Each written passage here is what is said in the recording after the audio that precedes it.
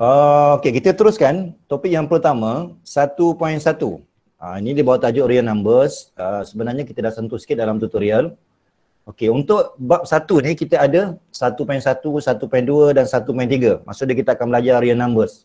Real numbers ni kalau kita nak kenal sebarang nombor yang kita boleh nampak dalam kalkulator ni. Kamu nampak tak saya punya paparan kalkulator ni?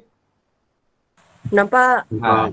Sebarang nombor yang kita gunakan dekat sini, contohnya katakan saya nak tahu berapa nilai pi. So saya tekan shift pi. Ha, ini dia panggil real, real number walaupun dia bentuk nombor perpuluhan. Sebarang nombor yang kita boleh nampak. Katakan saya nak guna log 5. Ini pun termasuk dalam real number. Ataupun saya tekan nak tahu 85. Ha, 85 ni pun dia panggil real number. Maksudnya nombor yang kita nampak itu dia panggil real numbers. Apa contoh yang bukan real numbers? Ha, contoh eh. Um, contoh macam square root of, ambil mudah lah, square root of 25. Apa jawapannya agak-agak? Ini contoh mudah ni.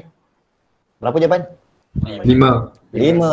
Okay, settle. Ha, maknanya lima tu, lima tu kita panggil real number. Sebab nombor tu masih boleh kita nampak. Apa jadi kalau saya buat square root of negative 25? Agak-agak apa jawapan dia? Syntax error sir. Ah, ya betul. Kalau kita tengok eh, kalau saya katakan saya tekan sama dengan nak tahu berapa nilai dia. Nanti dalam kalkulator dia akan display max error. Ha, maksud dia nombor tu kita tak nampak apa jawapan dia. Ha, bila macam ni maksud dia itu tak boleh dipanggil sebagai real numbers. Eh, so ingat eh kalau kita jumpa square root dalam dia negatif kita bila guna kalkulator tak akan nampak jawapan dia berapa. Maka yang ini salah satu contoh bukan real numbers. Real number ni adalah nombor-nombor yang kita boleh nampak. Cara paling mudah kalau kita guna kalkulator nampak nombor tu. Okey, boleh? Okey, contoh lain yang bukan real number. Katakan saya ambil log uh, log kalau log dua katakan saya ambil log 12 lah, log 12. Okey. Jawapan dia adalah 1.079 dan seterusnya. Okey. Katakan saya tukar pula. Uh, saya letak log tapi saya letak negative 1.2 je. Simple je. Agak-agak apa jawapan dia? Ada ke tak ada? Ada nilai tak? Ada. Ada.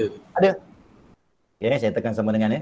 Yes, nampak? Max error. Ini adalah uh, contoh lain yang kita tak boleh panggil dia sebagai real numbers. Okay? So real numbers ni maksudnya nombor yang kita boleh nampak yang paling mudah kalau kita guna calculator ada tak jawapan? Kalau ada jawapan maka itu adalah real numbers. Okay, setakat ni jelas? Faham? Faham. Okey, bagus. Bagus. Faham, ha, jadi cuma dalam banyak-banyak nombor ni, okey, dalam banyak-banyak real number ni uh, cuma kita uh, pecah ke dalam beberapa kategori lah. Uh, contoh eh, contoh. Uh, so real number ni ada banyak.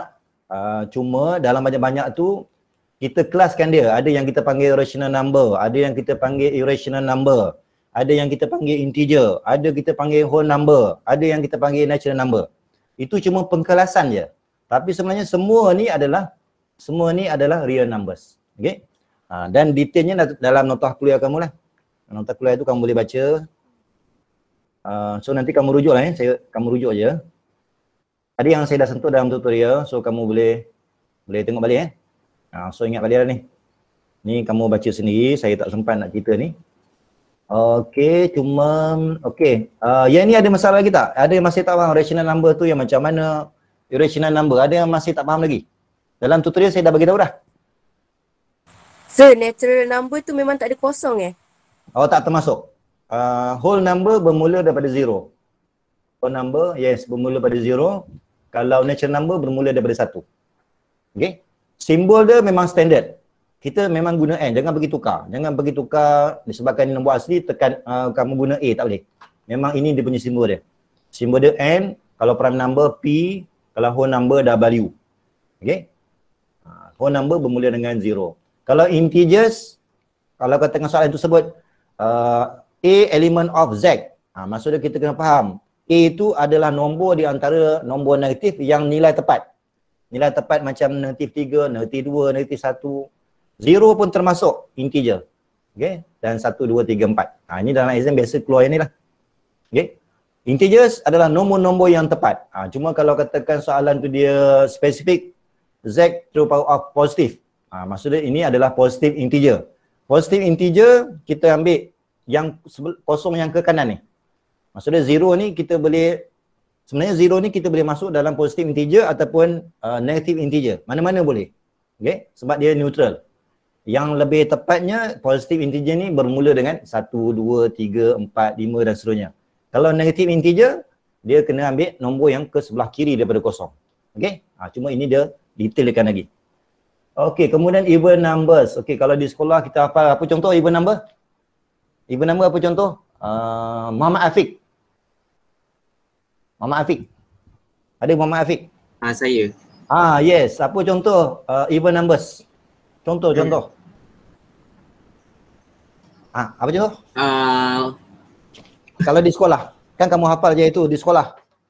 Apa contoh dia? Ah, dah lupa. Ah, okey ada nak bantu? Ah, Nur Rabiatul. Boleh bantu? Ya.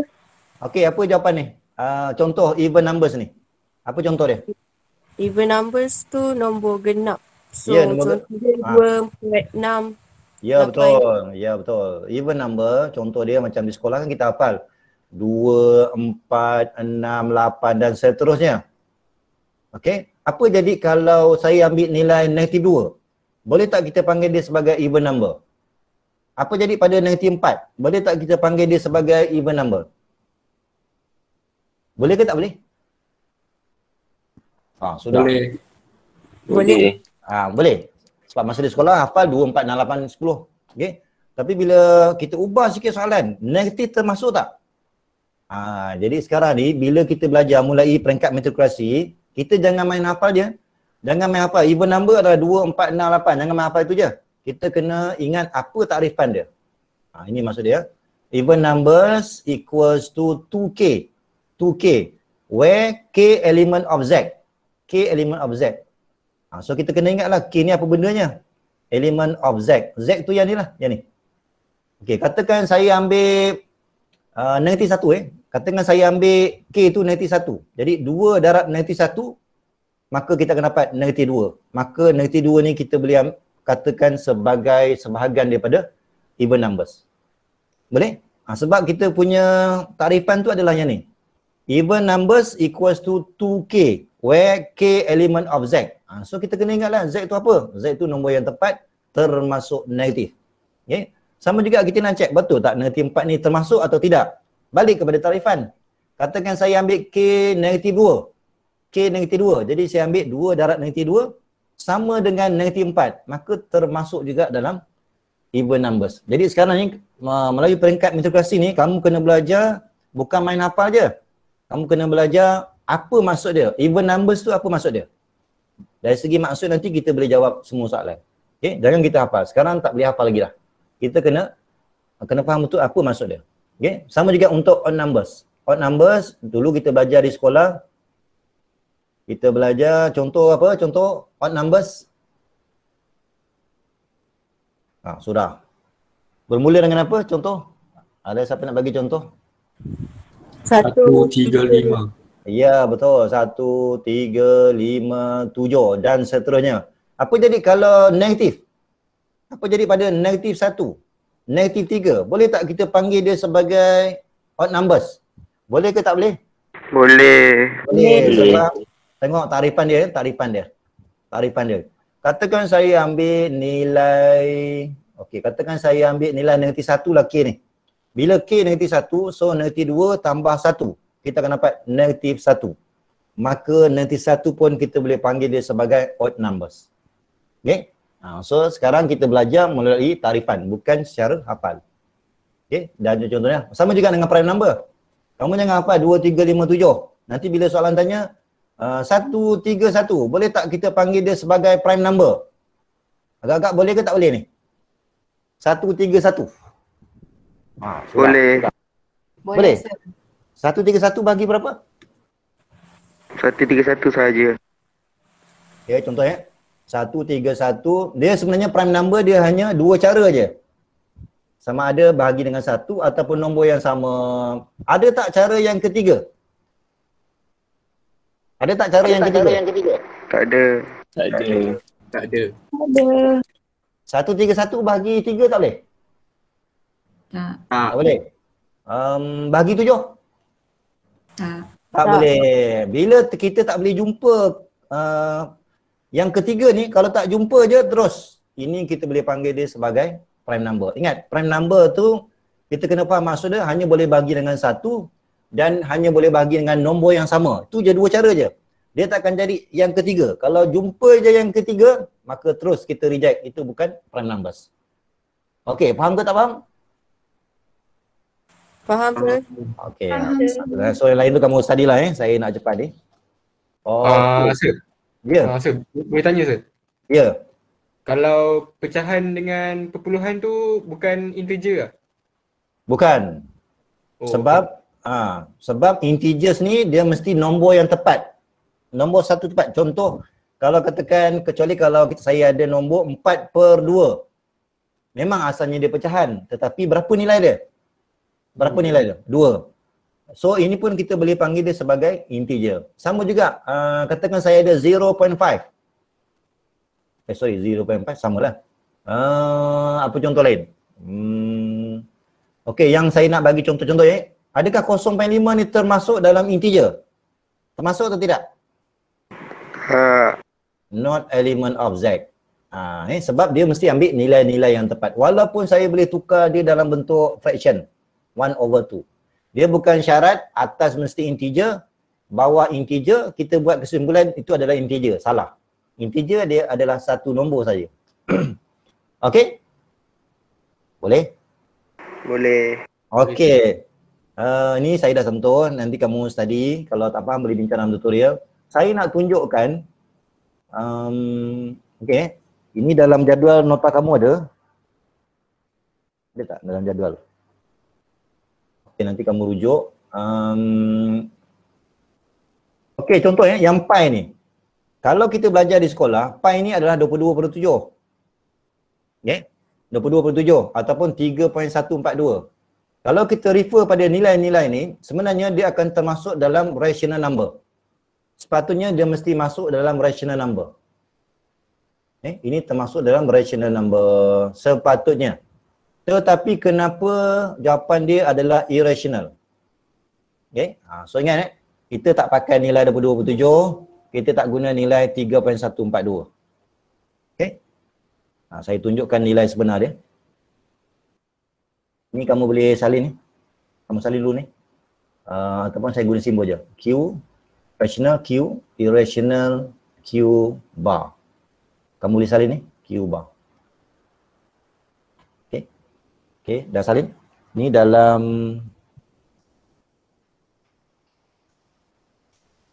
ada tak dalam Oh, dalam nota tak ada ya? Tak ada. Oh, okey. Ni uh, kita punya ni saya rakam. Jadi kamu boleh rujuk baliklah eh. Nanti kamu rujuk. Okey, uh, kalau nak segera kamu snap lah ni, snap dulu. Uh, ini contoh-contoh uh, mana satu rational, mana satu irrational. Ingat ya, rational saya dah bagi tahu dalam dalam tutorial kamu kena check balik. Irrational pun saya dah bagi tahu. Okey, cuma untuk yang specialnya yang ni lah. Untuk nilai pi, uh, nilai yang ni, dan nilai eksponen. Nanti saya tunjukkan nilai E tu. Ada yang pelajar tanya saya, nilai E ni berapa? E ni adalah eksponen, nanti kita tengok. Okay. Uh, saya nak tunjukkan kenapa pi ni kita tak boleh ambil nilai 22 per 7. Ni biasa di sekolah, 22 per 7. Ini kalau kamu guna ni semua tak boleh ni, 3.142. Mulai sekarang tak boleh guna. Sebab nilai pi adalah yang ni, 3.14159265358 sampai lah bawah. Sebenarnya dia adalah nombor yang tak ada penghujung. Tak ada penghujung. Jadi bila kita nak tentukan dia ni termasuk dalam rational ataupun irrational. Okay. Untuk menentukan dia irrational ataupun rational, kita kena pastikan dia mesti merujuk kepada nilai yang ni. Nilai asal pi ni. Jadi uh, syarat nak kita panggil dia, kita tengok. Kalau nombor ni tak ada penghujung, kita kena tengok nombor yang akhir ni, dia repeat ke tak repeat. Okay. Ha, kalau tak repeat, maka kita akan ambil jawapan dia sebagai irrational. Itu yang nota saya sebelum ni. Kalau nampak pi itu termasuk dalam kumpulan irrational. Eh, so ingat eh. Saya ambil ni sebab kita bukan rujuk kepada yang ni. Kalau rujuk pada 22.7, dia adalah rational. Sama juga, yang ini pun sama juga. Kalau rujuk pada nilai yang ni, ini kita panggil dia rational number. Tetapi untuk penentuan sebenar pi ni, dia bukan ambil nilai ni. Nilai yang panjang-panjang ni. Nah, ataupun yang ni lah. Ni yang panjang ni. Okay, kamu tak payah hafal. Jadi selepas ni kalau kamu nak kira, nampak je pi, tak payah ambil 22.7. Jangan ambil 3.142. Kamu gunakan kalkulator je. Okay? Kamu guna kalkulator. Okay, saya tunjukkan. Kalau nak guna kalkulator. Macam ni lah. Okay, saya nak tahu berapa nilai pi. Okay, kita tekan shift pi. Kan sama dengan dan kita nampak. Ha, kalau kita tengok nombor sini, sebenarnya ni tak cukup. Sebenarnya bukan nilai ni. Ha, ini cuma penghampiran dia. Sebenarnya nilai yang saya paparkan tadi. Okay, nanti kamu boleh tengok balik video ni. Nilai sebenarnya bukan yang tu. Okay. Uh, seterusnya saya nak tunjukkan nilai eksponen nilai eksponen. Ada yang pelajar tanya saya, ni berapa nilai eksponen ni? Ha, Okey. Nilai eksponen. Ini nilai sebenar dia. Nilai eksponen tu adalah 2.71828. 1828. Kalau kita baca di sini sampai sini, kita akan nampak dia ni macam boleh dipanggil sebagai rational. Kalau kita baca nilai ni. Sebab ada pattern berulang. 828 ataupun 281 281 dia berulang kan tapi sebenarnya dia adalah uh, bukannya ni. Uh, nilai eksponen ni kita mesti ambil berdasarkan nilai ni. Nilai yang banyak ni banyak dan dia tak ada penghujung okey? Dan kita tengok nilai di hujung tak ada pun pattern berulang. Maka eksponen ni termasuk dalam kategori irrational. Ha, okey? Ha, so, kamu kena hafal antara contoh irrational. Kalau kamu nampak pi, kalau kamu nampak eksponen, kalau kamu nampak uh, square root of 2, square root of 7, ini adalah contoh-contoh irrational. Okay? Ha, pi yang biasa dalam exam dia akan tanya pi, eksponen. Kadang-kadang dia tukar pi kuasa 2, Kadang-kadang dia ambil E kuasa 2. Ha, itu semua ada unsur-unsur pi dan E. Kita panggil dia sebagai irrational number. Okey, setakat ni ada apa nak tanya? Okey ke ni? Okey, sir. Okey, sir. Okey, sir. Tak eh? So ingat eh. Tapi kalau kamu nak guna calculator, ni kat nombor ni jangan kamu hafal eh. Kalau calculator, kita ambil nilai Okey, kamu tengok sini. Ini uh, LN eh. Ini bukan in, LN, lon. Sebelah log uh, adalah dia panggil lon. Lon ya, LN, lon. Lon ni dia adalah keturunan log. Tapi dia asas E. Nanti kita tengok. Eh? Okay. Cuma saya nak tahu berapa nilai E. Okay, kita akan ambil shift. Tekan shift lon. Nanti kita akan nampak dekat skrin E kuasa berapa. Kalau nak tahu nilai ni, kamu tekan E kuasa 1.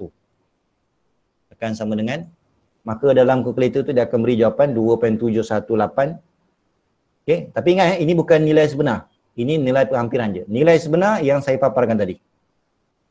Okay, yang saya paparkan ni. So jangan hafal eh. Cuma kita cuma hafal eksponen ni nilai itu termasuk dalam contoh irrational. So ingat eh, ini termasuk dalam contoh irrational. Irrational. QQ bar. Okay? Boleh setakat ni? Okey, sir. Okey, sir. Tak eh? Okey. Laju sangat ke saya ajar ni? Tak, sir. sir. Okey. Tak, sir. Ah, okey. Ah, ini sepanjang awal ni saya kena sempit sikit lah. Okey, ini contoh-contoh soalan. Okey, ah, ini nanti kamu kamu tengoklah ni. Ini dalam soalan contoh satu ni, nanti kamu tengoklah. Okey, natural number. Maksudnya kita nak senaraikan daripada senarai yang diberi ni, mana satu natural number? Okay. Ha, so rujuklah balik nota. Saya bagi jawapan je. Okay. Ha, natural number, ingat natural number bermula daripada satu. Dalam dalam senarai ni yang kita boleh panggil natural number cuma nombor empat je. Whole number sama juga uh, dia nombor empat termasuk zero. Okay. Integers nilai-nilai tepat. Maksudnya yang ni boleh ambil uh, mana lagi? Zero, four, kan? Uh. Ini contoh-contoh eh. Contoh. Okay, nanti kamu, kamu, kamu snap lah jawapan ni. Nanti kamu boleh study. Okay. Uh, so, uh, rational. Ingat ni rational. Ingat ni rational ni kita boleh rational ni dia ada dua cara. Kita akan lihat kalau setiap pecahan ini kita boleh panggil dia sebagai rational. Dan kalau decimal number dia mesti berhenti. Berhenti. Setiap decimal number yang berhenti, okey, kita memang terima dia sebagai uh, rational number. Kemudian yang ketiga, syarat dia kalau nombor tu tak berhenti. Tak berhenti. Contoh 32, 32. Tetapi ha, ini yang saya buat nota yang ketiga ni, ini untuk kes kita tengok ada tak titik-titik. Ha, itu maksudnya ada nombor lagi. Bila ada nombor, kita kena tengok syarat. Ada tak pattern berulang? Kalau ada pattern berulang, baru kita kategorikan dia sebagai rational. Kalau dia tak ada dot dot dot tak payah tengok. Kalau nombor tu berhenti je walaupun dia decimal number, terus kita kategorikan dia sebagai Q. Okay. Ha, kalau ada dot dot dot, jangan kita ambil ni sebagai jawapan. Tengok dulu. Tengok dia berulang ke tak berulang di hujung ni. Bukan di tengah, di hujung sekali. Yang dekat dengan dot dot dot ni. Ada tak pattern berulang? Kalau ada, baru kita kelaskan dia sebagai rational number. Okay. Ha, so nanti kamu rujuklah eh. Saya berhenti kat sini je. Okay, ada apa nak tanya? Sebelum saya teruskan lagi. Uh, sir, Ya, yeah. kan kalau 4 tu kan uh, natural number kan? ya. Yeah. So kalau macam uh, set 16 kan jadi 4. So set 16 tu natural number ke tak? Okey, terima kasih. Bagus soalan. Okey, jadi sekarang ni penentuan dia berada di uh, kumpulan yang mana? Kita tengok soalan. Kita bukan tengok soalan tu, okey, katakan soalan tu square root of 16. Kita jangan tengok yang ni je. Sebenarnya nilai dia berapa sebenarnya? Nilai dia adalah 4. Okey, yang 4 ni baru kita kategorikan dia berada di mana? Jangan tengok yang square root tu. Tengok nilai sebenar dia berapa? Ha, kalau kita boleh buat square root, berapa nilai sebenar dia? 4. Ha, so 4 tu termasuk dalam natural number boleh, whole number boleh, integer boleh. Okay. Rational number pun boleh. Sebab rational number ni, 4 tu dia sama dengan 4 per 1. Ha, ni macam ni kan? Ha, ni. So set 16 tu boleh categorize natural number lah? Boleh? Sebab kita bukan baca square root of 16 tu. Kita baca apa nilai sebenar dia. 4. Ha, 4 tu kita tengok. Dia boleh masuk kat mana? Natural number, whole number, integers. Rational number pun boleh. Sebab secara umum dia memang untuk fraction tetapi 4 tu saya boleh tukar kepada 4 per 1. Okay. Ha, so kalau nampak 4 je termasuk juga dalam rational number. Okay. Ada soalan lain? Ada lagi? Soalan lain? Sir nak tanya, Ya. Yeah. kalau negatif integer tu dikira sebagai nombor nombor perdana ke? Negative integer. Nombor perdana. Okey, kita tengok eh. Um, kita tengok contoh, kat- katakan kita dah ada prime number. Kita dah tahu. Uh, dua ni adalah dipanggil sebagai prime number. Prime number eh. Sebab dua, tiga, lima, tujuh tu prime number. Sekarang ni, isu dia sekarang ni, kalau nilai tu negatif dua. Ha, tadi saya dah tunjukkan kalau even number, dia tak masuk. Kan? Walaupun dia negatif. Sekarang ni kalau prime number, kita tengok eh. Ingat prime number ni dia mesti hanya dua cara je kita boleh bagi. Sama ada bahagi dengan ni boleh nampak tak saya tulis ni? Bahagi dengan satu atau nombor yang sama.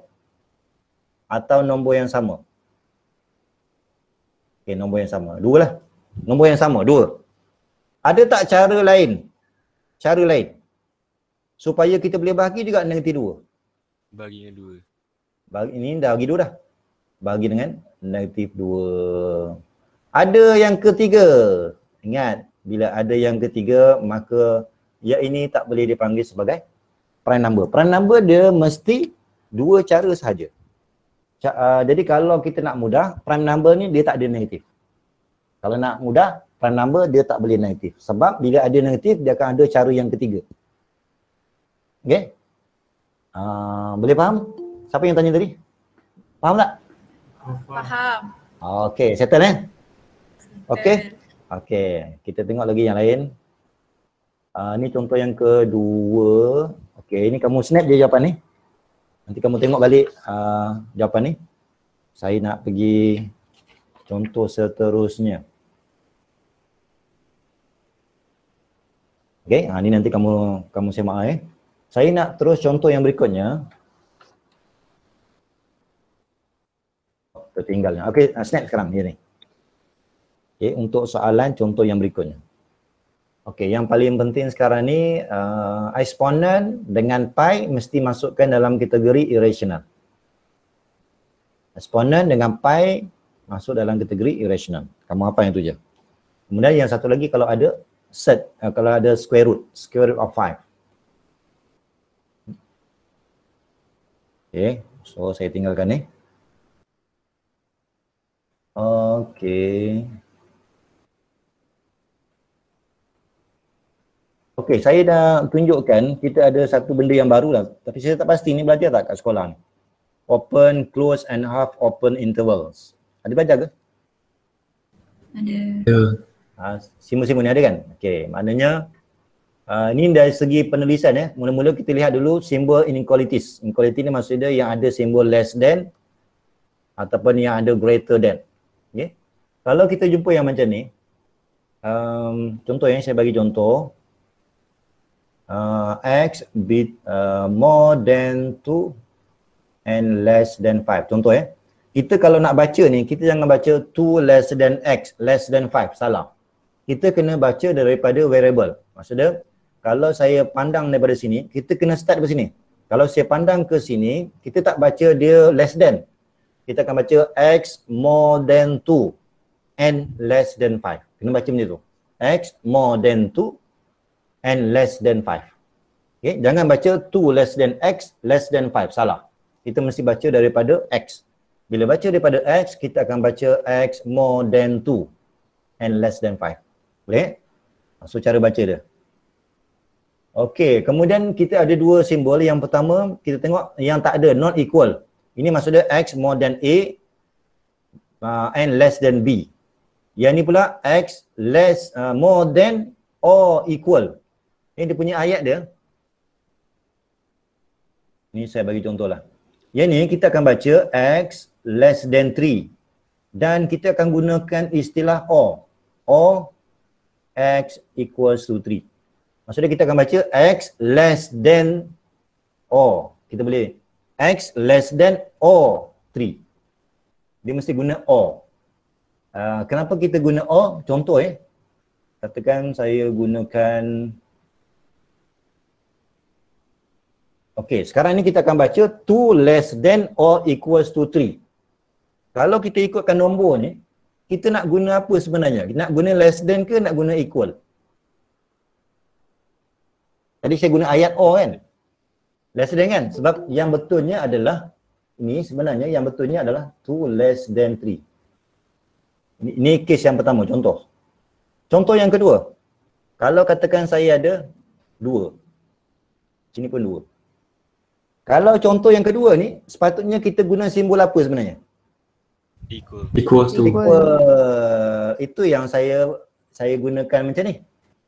Jadi kalau kita ada dua-dua, ada less than, ada equal. Sebenarnya cara baca dia adalah x less than or equal.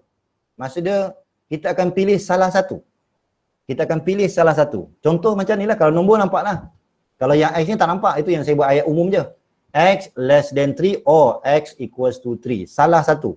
Tapi kalau nombor kita nampak, sebenarnya adalah dua kurang daripada tiga. Sebenarnya kita guna simbol less than. Eh? Ha, okay, jadi kita akan baca two less than or equals to three. Dia punya ayat dia. Dia mesti guna or. Okay, boleh? Itu cara baca lah. Okay, kemudian uh, dari segi notation. Okay, kadang-kadang kita akan buat, ini dipanggil dalam bentuk interval eh, interval ni.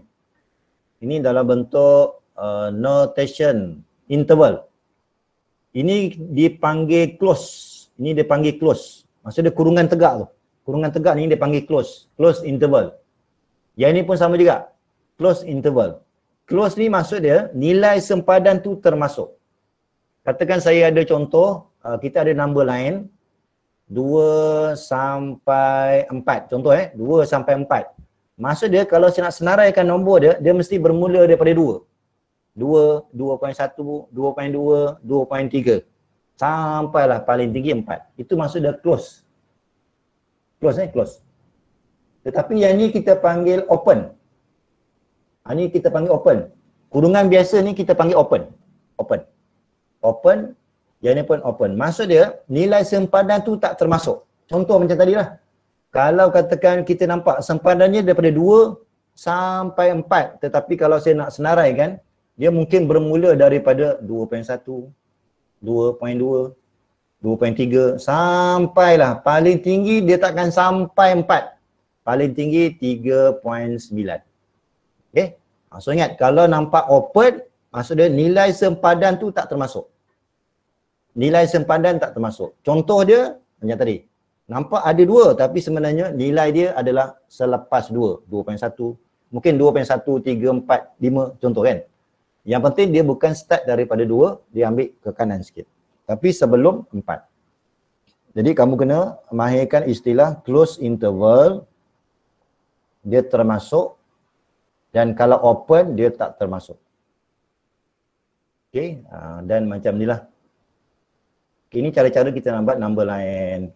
Kalau katakan uh, infinity, di sekolah ada belajar tak? Infinity. Ada belajar tak? Infinity. Ada. Ada kan? Ada.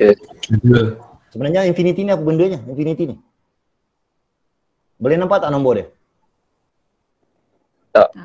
Tak nampak kan? Dia tak habis. Yes, ha, itu yang bila kita buat graf number line, ini semuanya dipanggil number line ni. Maksud dia kita buat satu horizontal line, kita anggap macam pasi X lah ni, pasi X.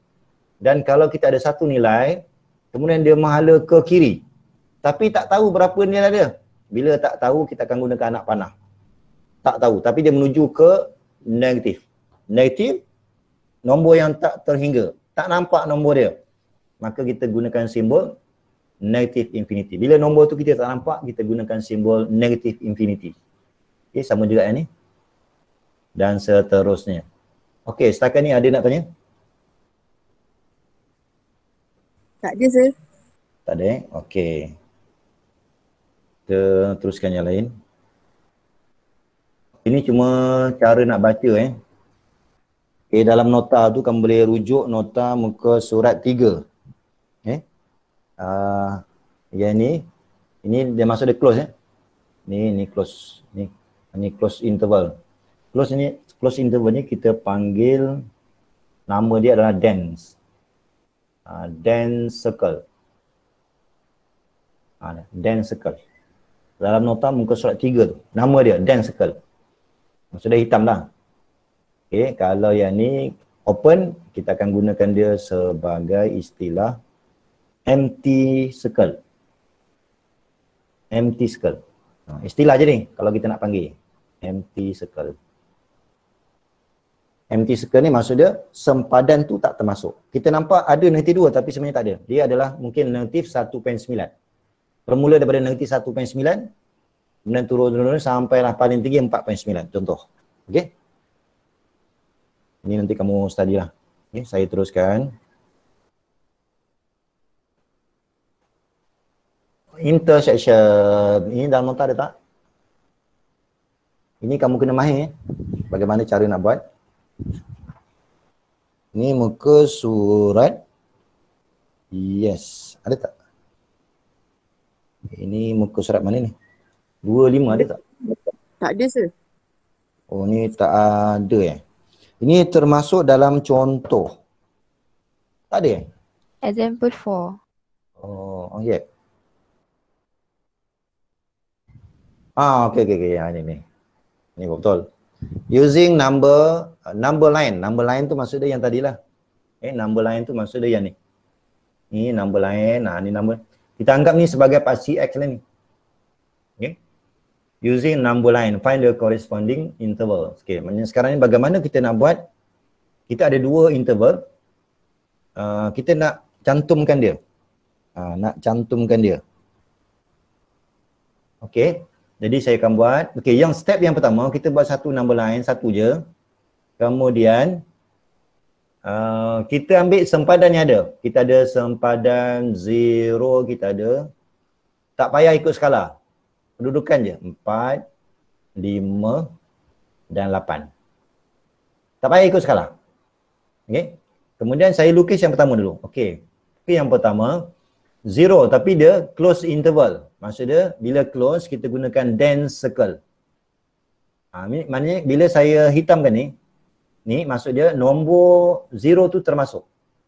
Kemudian uh, ni saya baca ni eh, saya baca yang ni zero to five. Five, five tu adalah empty circle. Empty circle. Jadi kita akan buat cara macam tu. Ni cara kita lukis. Uh, kita cuma kena pasti kalau close interval kita gunakan dense circle.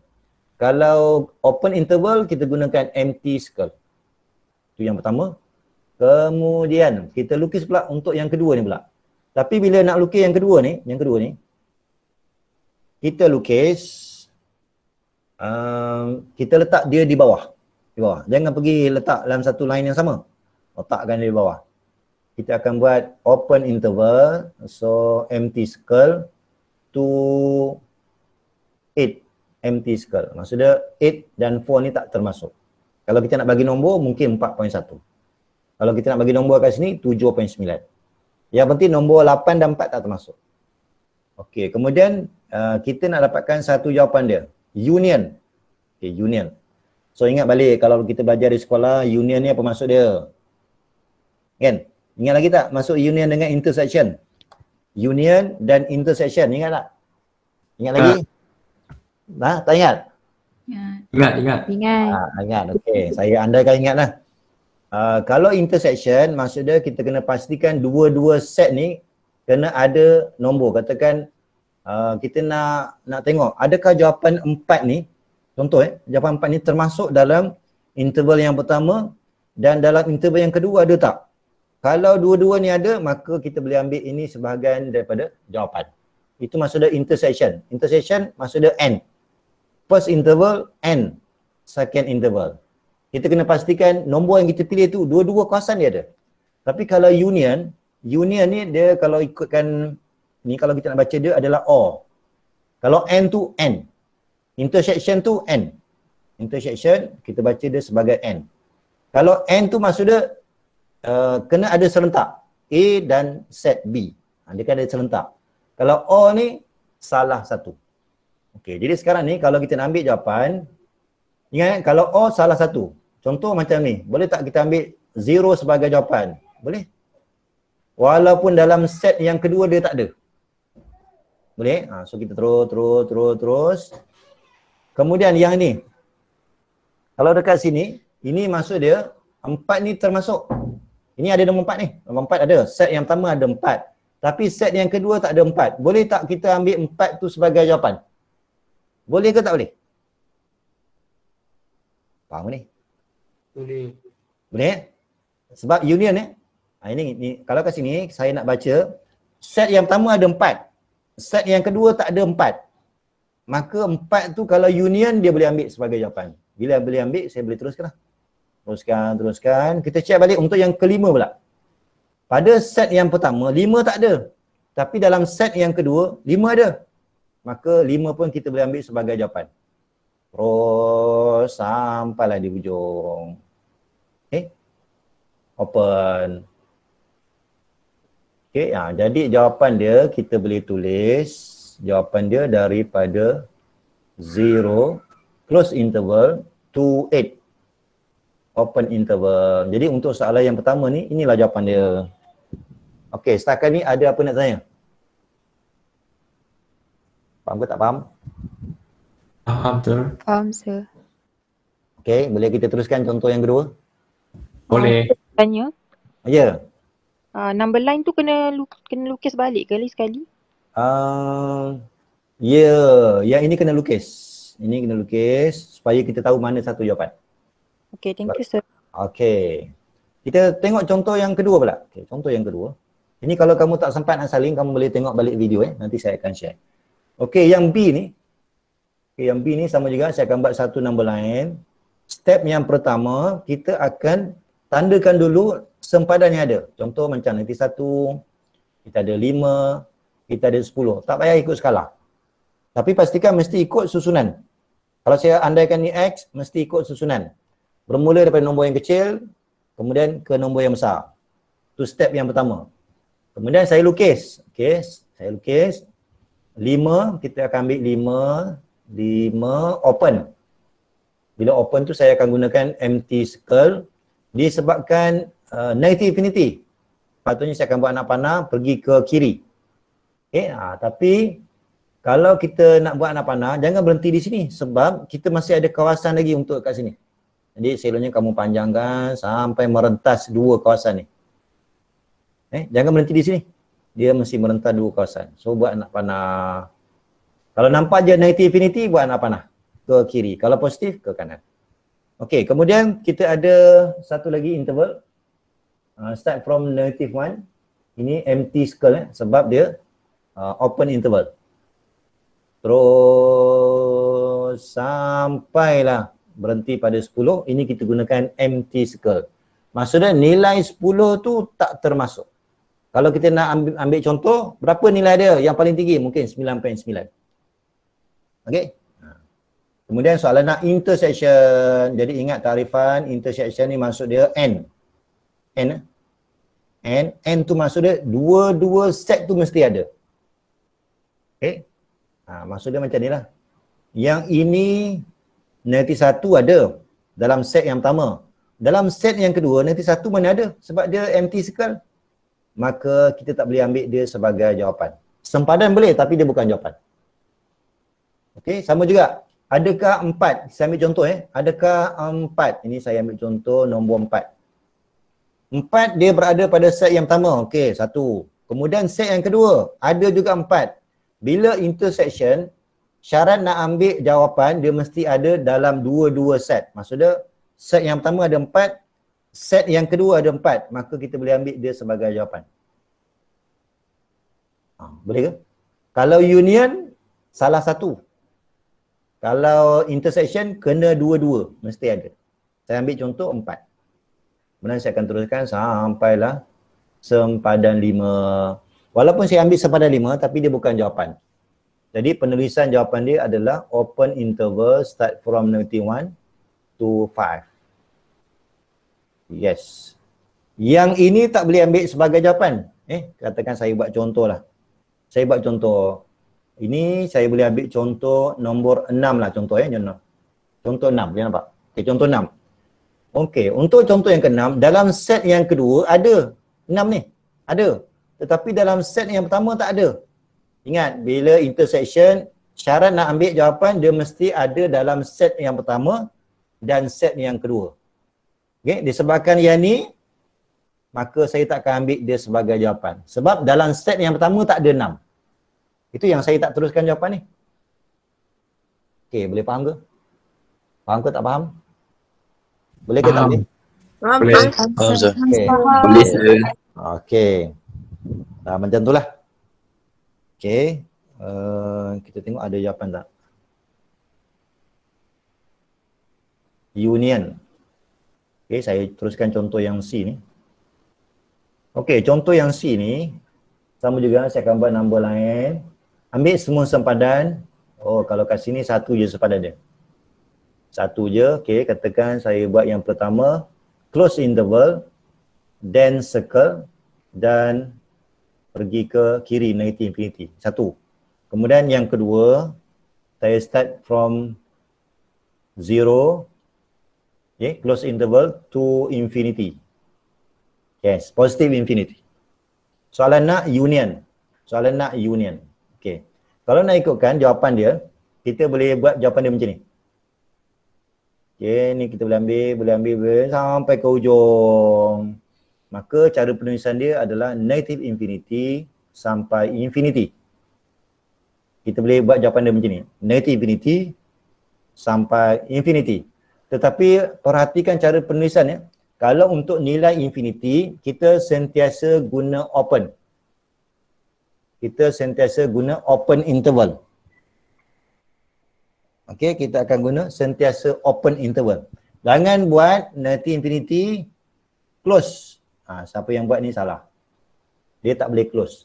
Close ni maksudnya kita boleh nampak nombor infinity tu. Mana boleh nampak?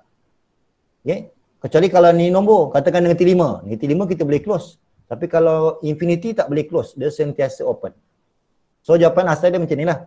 Ataupun kalau kamu jumpa macam ni, kamu boleh buat jawapan lain. Kamu boleh tulis dengan cara real number. Jawapan dia R.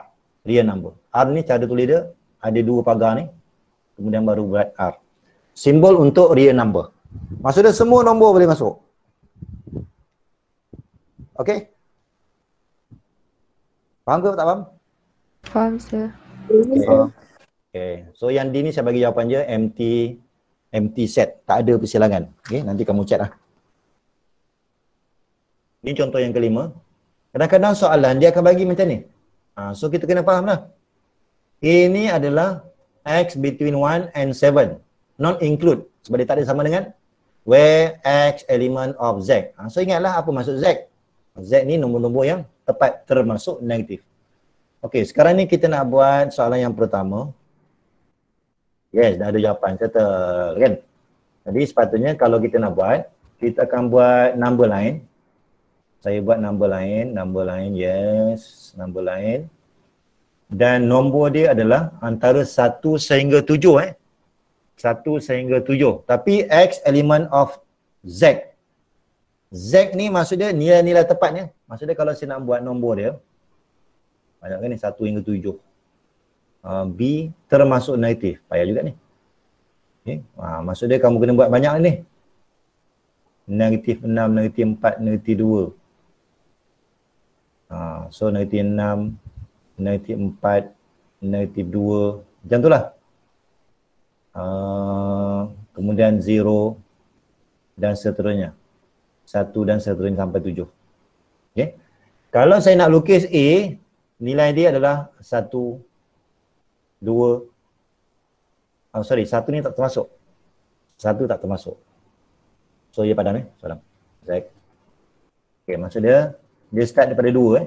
Dua, tiga, empat, sampailah tak termasuk paling tinggi enam. Okay, yang ni tujuh. Jadi kalau untuk set A ni, kita akan ambil satu, uh, bukan ambil satu, dua, tiga, empat, sampailah paling tinggi enam. Okay, nanti kamu lukislah. Okay, jadi kalau kita senaraikan, dia dah dua, tiga, empat, lima, enam. Kemudian B adalah nombor-nombor tepat juga. Jadi kalau union, kita boleh, ingat eh, union ni maksud dia, katakan, adakah dua ni kita boleh ambil sebagai jawapan? Boleh, sebab dia bukan syarat mesti ada dalam set yang kedua. Itu jawapan dua ni ada. Kemudian di, tiga ni boleh tak kita ambil sebagai jawapan? Ha, boleh walaupun set yang kedua tak ada. Sebab union ni dia ringan. Ada je kita nampak dalam satu set, maka itu kita boleh ambil sebagai jawapan. Jadi kalau kita nak senang, kita ambil dulu set yang pertama. Dua, tiga, empat, lima, enam, kita settle.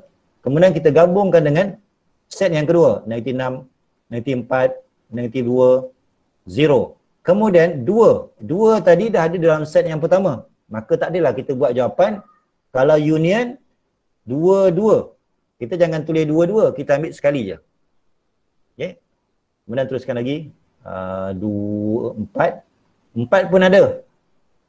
Kita tak payah tulis empat-empat, kita tulis sekali je. Empat, lima, enam. Okay. Itu kalau untuk union. Okay, kita ada masa. Yes, kita sikit lagi. Okay, untuk soalan B pula, intersection. Antara B dan C. Okey, B dan C. Okey, macam tu lah. Okey, saya buat, boleh buat C ni sebagai interval sebab X element of real number. Dia sepatutnya bukan kita tulis R eh.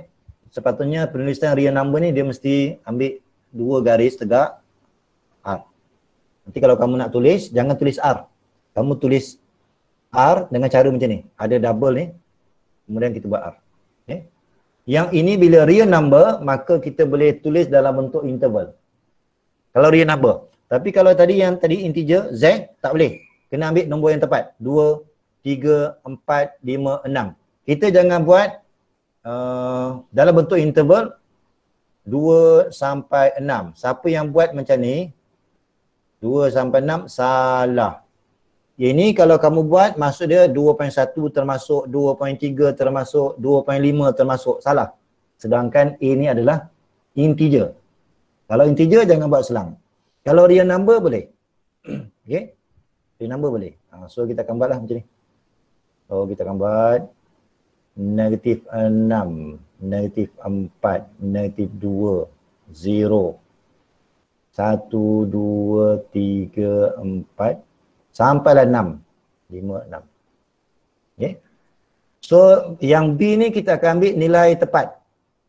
Negatif 6, 1. Negatif 4, 1. Negatif 2, 1. 0. Okay. Ha, kemudian 2, 4 and 6. Okay, kita tinggal. Yes, masa kecemasan sekarang. Okay, kemudian uh, yang bawah ni, yang C ni.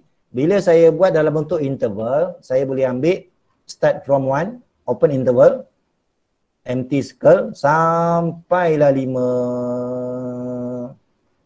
Okay. Ha, walaupun kita tahu nilai sebelum 5 ni contoh 4.9. Okay, jadi kita kena ambil sampai 5 tapi uh, empty circle. Soalan nak apa? Soalan nak intersection. Uh, so kena tengoklah intersection. Persilangan dua. Dua graf ni bersilang. So apa jawapan dia? So kita akan dapat jawapan dia. Ni dua yang bersilang eh. So yang ni saya boleh ambil ni, ni, ni. Ni satu. Kemudian kita ada empat. Boleh? Ha, dan yang enam ni tak boleh ambil sebagai jawapan. Jadi jawapan dia adalah bila saya tulis B intersect C, jawapan dia adalah cuma dua dan empat. Pastikan jawapan dia jangan buat dalam bentuk interval. Jangan buat dalam bentuk macam ni. Dia mesti gunakan curly bracket. Ini dia panggil curly bracket. Simbol set ni, curly bracket. Okay. So bila intersection, Syarat dia kita boleh ambil dia sebagai jawapan kalau dalam set yang pertama ada, set yang kedua pun ada. Contoh macam ni lah. Nombor dua set pertama ada. Nombor dua set kedua pun ada. Maka dua tu boleh ambil sebagai jawapan. Tapi kalau tiga, tiga dalam set yang kedua ada. Dalam set kedua ada. Tapi dalam set yang pertama tak ada. Bila intersection, reject. Sebab syarat intersection, dia mesti ada dua-dua. Maka tiga tak boleh ambil sebagai jawapan. Kita cek pula empat. Empat dalam set pertama ada. Dalam set yang kedua pun ada. Maka kita boleh ambil empat ni sebagai jawapan.